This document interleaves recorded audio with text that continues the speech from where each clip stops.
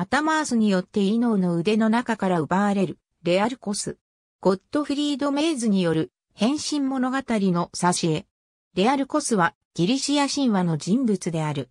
ボイオーティア地方の都市オルコメノスの王アタマースといい、脳の長子で、メリケルテースト兄弟。神話では、多くの場合、狂気に疲れた父、アタマースによって殺された。父親の気が狂った原因はディオニューソスを養育して、ヘーラーの怒りを買ったためとされる。アポロドーロスは、気が狂ったアタマースは、レアルコスを鹿と間違えて、弓矢でいたとする。オイデウスの変身物語によると、アタマースは、イーノーと子供たちを、メスライオンの親子と勘違いして追い回した。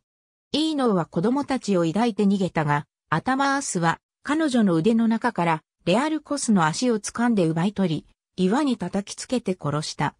またその光景を見たイーノーも気が狂い、メリケルテースを抱きかかえたまま、崖から海に飛び込んだ。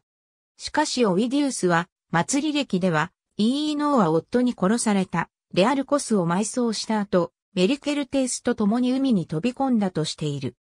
一方、パウサニアスは、アタマースは狂気に寄りつかれたのではなく、前妻、ネペレートの子供を殺そうとしたイーノーへの怒りから、彼女と彼女との間に生まれた子供を殺そうと考えて、レアルコスを殺したのだと語っている。エウリーピデースは、悲劇、メーデーアの中で、イーノーは西の母であり、ヘーラーの送った狂気で気が狂って、自らの子供たちを手にかけたとしている。子供たちの名前については触れていない。ありがとうございます。